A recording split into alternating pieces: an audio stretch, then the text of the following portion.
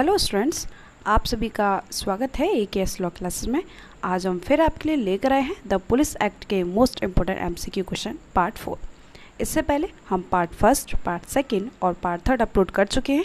उन्हें आप play list में जाकर ज़रूर देखें और जिन्होंने अभी तक हमारे चैनल को सब्सक्राइब नहीं किया है तो सबसे पहले हमारे चैनल को सब्सक्राइब ज़रूर कर लें, जिससे आगे आने वाली वीडियो की नोटिफिकेशन आपके पास पहुँचती रहे और अपने साथियों को भी ये वीडियो ज़रूर शेयर करें।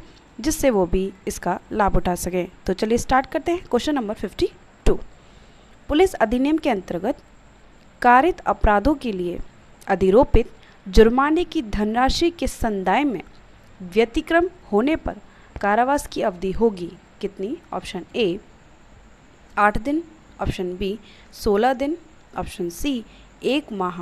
ऑप्शन डी भारतीय दंड संहिता की धारा पैंसठ के अधीन। तो इसका सही सही उत्तर है ऑप्शन ए, आठ दिन। Question number fifty three, police अधिनियम 1861 में प्रथम संशोधन कब किया गया था? ऑप्शन ए 1938 में। ऑप्शन बी, उन्नीस सौ उनतालीस में। ऑप्शन सी 1940 में। ऑप्शन डी, उन्नीस सौ इक्यावन में। तो इसका सही उत्तर है ऑप्शन ए 1938 में। क्वेश्चन नंबर 54 निम्नलिखित में से कौन पुलिस डायरी को मंगवाने और उसका निरीक्षण करने के लिए स्वतंत्र होगा? ऑप्शन ए जिला पुलिस अधीक्षक। ऑप्शन बी जिला मजिस्ट्रेट। ऑप्शन सी उपरोक्त दोनों। ऑप्शन डी केवल विचारण न्यायालय। तो इसका सही उत्तर है ऑप्शन बी जिला magistrate. Question number fifty five police diary साक्ष्य के रूप में प्रयोग नहीं की जा सकती है। यह संप्रेक्षण किया गया था। Option A Habib Mohammad versus Hyderabad case में। Option B, Molud Ahmad versus राज्य केस में। Option C, Ajay Singh versus Joginder case में। ऑप्शन डी, उपरोक्त सभी में। तो इसका सही उत्तर है option A Habib Mohammad versus Hyderabad case में। Question number fifty six, police अधिनियम 1861 को गवर्नर जनरल की अनुमति कब प्राप्त हुई? ऑप्शन ए 22 मार्च 1861 ऑप्शन बी 26 मार्च 1861 ऑप्शन सी 22 मार्च उन्नीस सौ बासठ। ऑप्शन डी 22 अप्रैल 1861 तो इसका सही उत्तर है ऑप्शन ए 22 मार्च 1861 क्वेश्चन नंबर 57 निर्वचन खंड किस धारा में वर्णित है? ऑप्शन ए धारा एक में ऑप्शन बी, धारा दो में ऑप्शन सी, धारा तीन में ऑप्शन डी, धारा चार में। तो इसका सही उत्तर है ऑप्शन ए, धारा एक में। Question number fifty eight police अधिनियम 1861 के उपबंध के अधीन रहते हुए किसी पुलिस बल की अधीनस्थ पंक्ति के सदस्यों का वेतन और सेवा की शर्तें कौन अवधारित करता है? ऑप्शन ए, महानिदेशक ऑप्शन बी, राज्य सरकार, ऑप्शन सी, महानिरीक्षक, ऑप्शन डी उप महानिदेशक तो इसका सही उत्तर है ऑप्शन बी, राज्य सरकार।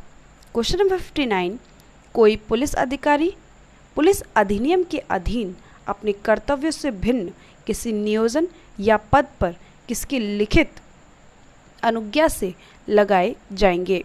ऑप्शन ए, महानिदेशक, ऑप्शन बी, महानिरीक्षक की, ऑप्शन सी उप महानिरीक्षक की ऑप्शन डी पुलिस अधीक्षक की। तो इसका सही उत्तर है ऑप्शन बी महानिरीक्षक की।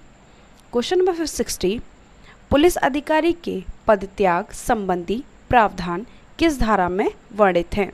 ऑप्शन ए धारा पाँच ऑप्शन बी धारा सात ऑप्शन सी धारा नौ ऑप्शन डी इनमें से कोई नहीं तो इसका सही उत्तर है ऑप्शन सी धारा नौ। Question number sixty one, police, विशेष पुलिस अधिकारी की नियुक्ति संबंधी प्रावधान पुलिस अधिनियम की किस धारा में वर्णित है? ऑप्शन ए, धारा पंद्रह, ऑप्शन बी, धारा सत्रह, ऑप्शन सी, धारा सत्ताईस, ऑप्शन डी, उपरोक्त सभी। तो इसका सही उत्तर है ऑप्शन बी, धारा सत्रह। क्वेश्चन नंबर सिक्सटी टू, महानिरीक्षक की शक्ति के संबंध में प्रावधान किस धारा में वर्णित है? ऑप्शन ए, धारा सात, ऑप्शन बी, धारा नौ, ऑप्शन सी, धारा पाँच, ऑप्शन डी, धारा चौदह। तो इसका सही उत्तर है ऑप्शन सी, धारा पाँच। Question number sixty three. निवासियों या भूमि में हितबद्ध व्यक्तियों के दुराचरण से पीड़ितों को प्रतिकर दिलाए जाने संबंधी प्रावधान कौन सी धारा में दिए गए हैं? ऑप्शन ए, धारा तेरह में ऑप्शन बी, धारा पंद्रह ए में ऑप्शन सी, धारा सोलह में ऑप्शन डी, धारा सत्रह में। तो इसका सही उत्तर है ऑप्शन बी, धारा पंद्रह ए में।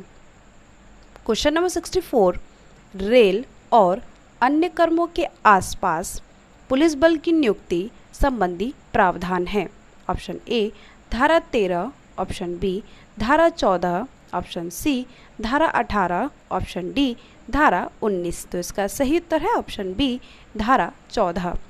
क्वेश्चन नंबर सिक्सटी फाइव प्रत्येक पुलिस अधिकारी का यह कर्तव्य होगा कि वह बिना दावे वाली सभी संपत्तियों को अपने भार साधन में लेंगे और उसकी सूची किसे देनी चाहिए?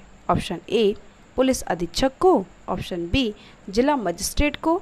ऑप्शन सी निरीक्षक को। ऑप्शन डी, इनमें से कोई नहीं। तो इसका सही उत्तर है ऑप्शन बी, जिला मजिस्ट्रेट को। Question number sixty six, police अधिकारी न रहने पर प्रमाण पत्र इत्यादि का परिधान करने से इनकार करने वाला व्यक्ति किस दंड का भागी होगा? ऑप्शन ए, दो सौ रुपये से अनधिक शास्ति। ऑप्शन बी छः मास से अनधिक कठोर या साधारण कारावास। ऑप्शन सी ए तथा बी दोनों सही हैं, ऑप्शन डी उपरोक्त में से कोई नहीं। तो इसका सही उत्तर है option D, option C A तथा बी दोनों सही हैं। क्वेश्चन नंबर सिक्सटी सेवन, अनुज्ञप्ति की शर्तों का अतिक्रमण करने वाले जमावों और जुलूसों को रोकने व बिखर जाने का आदेश कौन दे सकेगा? ऑप्शन ए, कोई मजिस्ट्रेट। ऑप्शन बी, पुलिस अधीक्षक। या सहायक अधीक्षक ऑप्शन सी निरीक्षक या थाने का भार साधक अधिकारी ऑप्शन डी उपरोक्त सभी। तो इसका सही उत्तर है ऑप्शन डी उपरोक्त सभी। Question number sixty eight police अधिनियम की धारा तीस तीस ए एवं इकतीस के अधीन निकाले गए आदेशों की अवज्ञा के लिए क्या दंड होगा? ऑप्शन ए दो सौ रुपये से अनधिक जुर्माना। ऑप्शन बी, दो माह का कठोर कारावास, ऑप्शन सी, ए और बी दोनों, ऑप्शन डी, कोई दंड उपबंधित नहीं है। तो इसका सही उत्तर है ऑप्शन ए, दो सौ रुपये से अनधिक जुर्माना। तो अब तक हमने पुलिस एक्ट के टोटल 68 क्वेश्चन को सॉल्व कर लिया है। आगे भी हम आपके लिए वीडियो लाते रहेंगे। उम्मीद है आपको ये वीडियो पसंद आई होगी। आप हमारे चैनल को ज़्यादा से ज़्यादा लाइक करें, शेयर करें, सब्सक्राइब करें। Thank you so much